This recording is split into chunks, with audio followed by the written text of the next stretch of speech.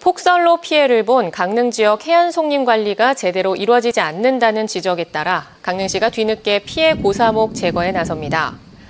강릉시는 해수욕장 개장 전까지 경포해변 일대 관광센터에서 호수광장 주차장 일원 송림 3헥타르에 대해 죽은 소나무 가지를 제거할 계획이라고 밝혔습니다.